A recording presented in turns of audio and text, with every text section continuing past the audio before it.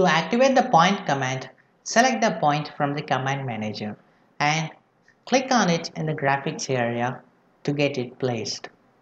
And you can also change the coordinates of your point by increasing this x and y coordinate systems. And if I want to place it on a curve, select this curve and you may notice that a coincident relation is displayed on it. You can also increase the coordinates of your point by increasing this parameters value.